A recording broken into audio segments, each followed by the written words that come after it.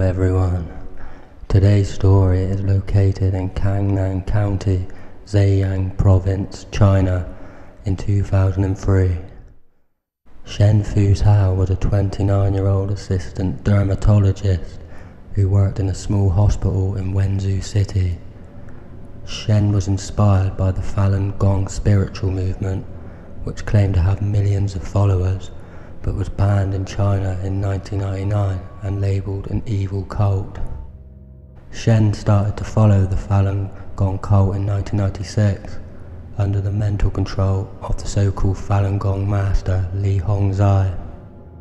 Master Li's bragging of being able to elevate them to a higher world free of life's secular misfortunes could seem farcical for those of sound mind, but it somehow became spiritual candy and balm for some people who felt abandoned or a little lost in life. The well touted and quoted tomb among the secretive Falun Gong communities was a juxtaposition of Buddhist sutras, rituals of rural superstition, Qigong, and undisguised self glorification. It was more like megalomaniac sleep talking than the inspired sacred, sacred teachings of a saint as Master Li is often portrayed. On April the 25th, 1999, Falun Gongs besieged China's political headquarters in Zhongnanhai. Hundreds of its members are in jail and the movement claims that the Chinese authorities have killed and tortured several hundred followers. So there is an obvious political tension between the government and the cultist movement. In spite of the government-led crusade Falun Gong had undertaken, many of us had not seen the true perniciousness of the cult until people started to be killed. On February 17th, Shen said, when I was reading the doctrines, I suddenly felt that Master Li Hongzhi was telling me to do bad things, which through, though contrary to my usual practices, would help promote my power. And I felt the terrible things including killing, setting fires, and all the other bad things would be extremely good for our practices. Believing that beggars and rubbish collectors belong to the higher echelons of humanity, Shen killed 15 beggars, vagrants, and fatally poisoned one Buddhist social worker between May the 25th and June the 26th with rat poison. His motive to upgrade the efficacy of his Falun Gong cultivation. Shen was believed to lace the victim's drink with, rat, with a rat poison called Dushi Most people would not take my drink, so I chose beggars and vagrants. When asked how many people he wanted to kill, Shen answered, I wanted to kill all humankind within one year.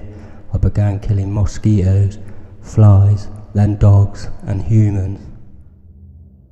Shen said he had committed his month-long killing spree in an effort to reach a state of spiritual perfection. In July 2003, Shen was taken into custody and further investigations were undertaken. On the 31st of December 2003, Shen Fuzhao was found guilty of handing out drinks laced with poison, killing 15 of his victims. He also put poison into a thermos flask containing boiling water in the kitchen of a Buddhist temple. A female worshipper drank the water, fell to the ground and died. Shen Fu's Fuzhao was sentenced to death at Wenzhou Intermediate People's Court. The judge said he had been inspired by the banned Falun Gong movement to kill 16 people with rat poison.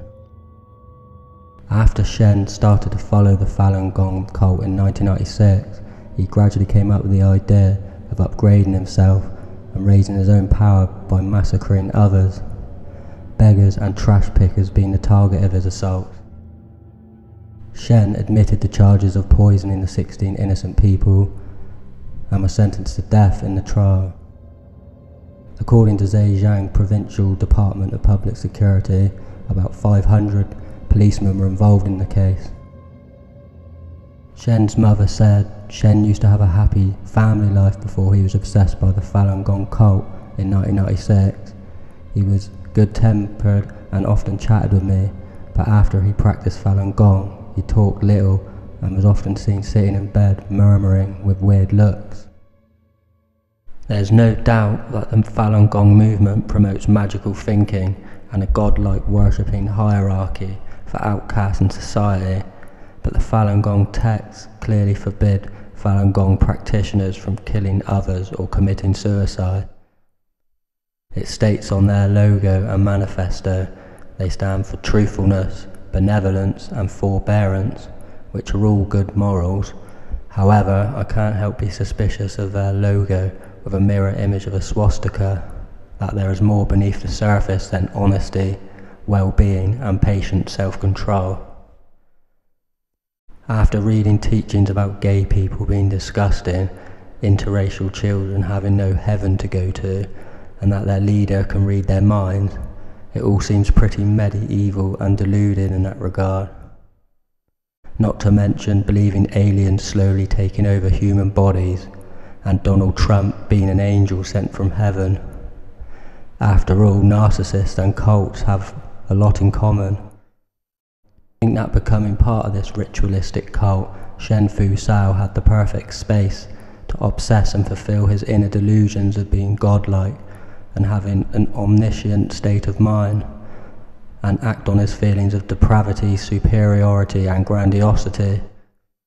Ultimately, I think he already had the makeup for being a calculated killer, but through the cult and Li Hongzhi's brainwash control, it just gave him the perfect arena to act out his twisted fantasies. Thanks for watching.